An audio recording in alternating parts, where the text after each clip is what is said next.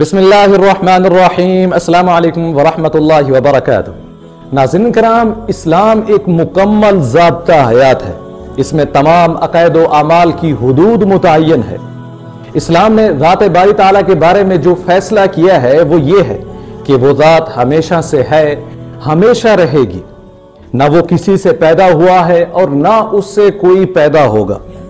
وہ ذات کن فیکون کی صفات کی مالک ہے۔ وہ زندہ کرتا ہے، وہی مارتا ہے۔ مگر مرزا غلام احمد قادیانی کی کتب پڑھیے کہ اس نے کس طرح عقیدہ توحید کو تار تار کیا ہے۔ مرزا غلام احمد قادیانی اپنی کتاب میں لکھتا ہے، میں نے اپنے کشف میں دیکھا کہ میں خود خدا ہوں اور یقین کیا کہ وہی ہوں۔ اور اسی حالت میں کہہ رہا تھا کہ ہم ایک نیا نظام اور نیا آسمان چاہتے ہیں۔ تو میں نے پہلے تو آسمان و زمین کو اجمالی صورت میں پیدا کیا۔ جس میں کوئی ترتیب و تفریق نہ تھی۔ پھر میں نے منشاء حق کے موافق اس کی ترتیب و تفریق کی۔ میں دیکھتا تھا کہ اس کے خلق پر قادر ہوں۔ پھر میں نے آسمانی دنیا کو پیدا کیا اور کہا ان زین السماء الدنیا بمصابیح پھر میں نے کہا، اب انسان کو مٹی کے خلاصے سے پیدا کریں گے۔ پھر میری حالت کشف الہام کی طرف منتقل ہو گئی۔ آگے لکھتا ہے، مجھے فنا کرنے اور زندہ کرنے کی صفت عطا کی گئی ہے۔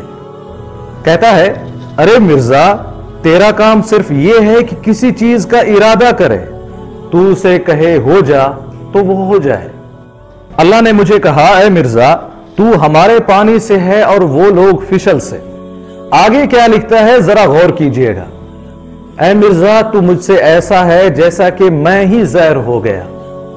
آگے لکھتا ہے، اللہ نے مجھے مخاطب کر کے کہا، اے میرے بیٹے، سن۔ اس سے آگے لکھتا ہے تو مجھ سے بمنزلہ اس انتہائی قرب کے ہے جس کو دنیا نہیں جانتی۔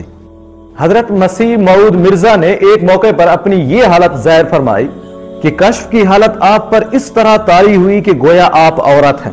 اور اللہ تعالیٰ نے رجولیت کی قوت کا اظہار فرمایا۔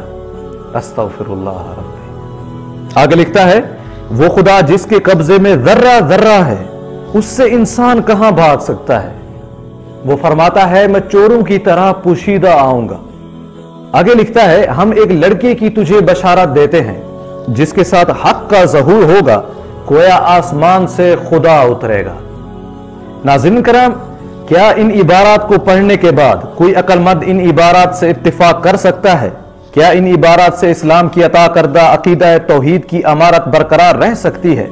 کیا ان عبارات میں اسلامی عقیدہ توحید کو پارا پارا نہیں کیا جا رہا؟ کیا ان عبارات کو سچا جاننے والا اسلامی قانون کے مطابق مسلمان کہلا سکتا ہے۔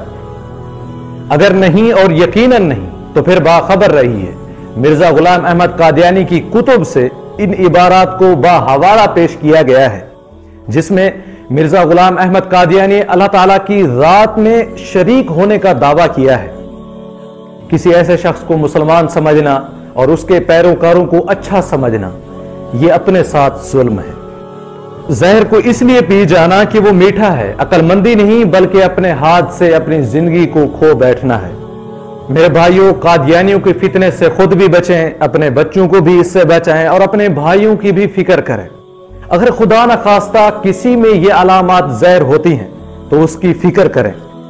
اگر مرض انتہائی سخت حالت میں ہے، تو پھر کسی احرار سنٹر سے رابطہ کریں۔ بس آخری بات کے ساتھ اجازت لیتے ہیں، وہ یہ کہ اے جنت تجھ میں حور و قصور رہتے ہیں۔ اے جنت تجھ میں حور و قصور رہتے ہیں۔ میں نے مانا ضرور رہتے ہیں۔ میرے دل کا طواف کر جنت میرے دل میں حضور رہتے ہیں۔ ناظرین کرام، امید کرتے ہیں کہ یہ ویڈیو آپ کے علم اضافے کا سبب بنی ہوگی۔ اگر یہ ویڈیو آپ کو اچھی لگی تو اسے لائک کریں اور شیئر بھی کر دیں۔ ملتے ہیں ایک نئی ویڈیو کے ساتھ۔ تب تک کے لیے اجازت دیں۔ السلام علیکم ورحمۃ اللہ وبرکاتہ۔